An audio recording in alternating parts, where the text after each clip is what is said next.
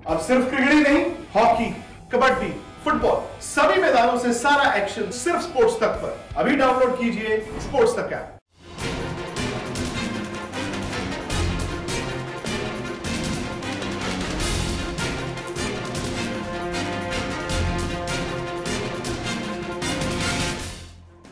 હજુ તો મુન્દ્રા પોર્ટ પરથી મળેલા દસ હજાર કરોડના ડ્રગ્સના પડઘા શાંત થયા નથી.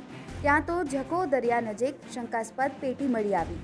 કચ્છની દરિયાઈ સીમા ફરી ચર્ચામાં આવી છે.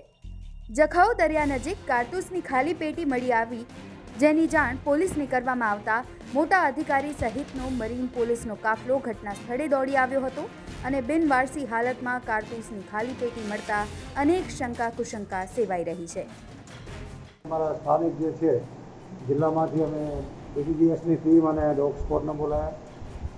ડોગ સ્પોટની ટીમ આવી અને થોડુંક ચેકિંગ કરી. એ દરમિયાનમાં થોડું લાગ્યું કે જે ગોળા જે સ્ટીલનો જે ગોળાકાર જે પાઇપ હતો, એ થોડોક શંકાસ્પદ જણાય છે કે એની અંદર કંઈક એક્સપ્લોઝિવ હોવું માનવું એના આધારે ગઈકાલે જે છે, અમે સાંજ પડી ગઈ હતી આ તપાસ દરમિયાન અને એક્સપ્લોઝિવનું આવી વસ્તુને ડાયરેક્ટ અડાય નહીં કે ડાયરેક્ટ ટચ ના થાય.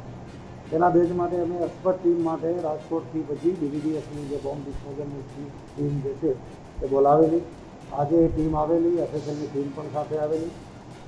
અને એ જે ગોળાકાર જે પાઇપ હતું સ્ટીલનું તેને દિવસની ટીમે એમની રીતે થોડોક બ્લાસ્ટ કરી અને એની અંદરથી જે અમુક પદાર્થ મળી આવેલો, એનો એફએસએલ દ્વારા જે ટેસ્ટ કરવામાં આવે તેમાં ડીએલડી કરીને એક હાઈ એક્સપ્લોઝિવનું જે છે હાલ પ્રાથમિક કારણ એવું આપવામાં આવ્યું છે એફએસએલ દ્વારા, કે જે હાઈ એક્સપ્લોઝિવ કહેવાય એમાં ડીએનટી કરીને આવે છે. અને વધારે ફર્ધર એના ઇન્વેસ્ટિગેશન માટે એફએસએલ ગાંધીનગર માટે આ તમામ વસ્તુ જે છે કબજે લઈ અને ગાંધીનગર મોકલવા માટે તજવીજ હાથ ધરેલી છે.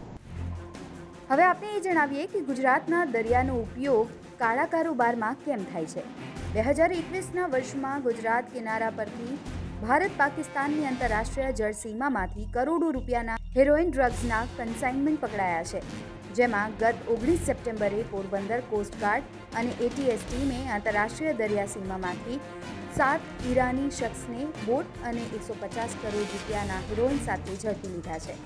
સુરક્ષા એજન્સીઓએ અનેક હિરોઈન ગુજરાતની જળ સીમામાંથી ઝડપી છે. આ મોટા આંકડાઓ જ દર્શાવે છે કે ગુજરાત અને દેશના યુવાનોની જિંદગી બરબાદ કરવા માટે દર વર્ષે કેટલા પ્રમાણમાં ડ્રગ્સ લાવવામાં આવતા હોય છે.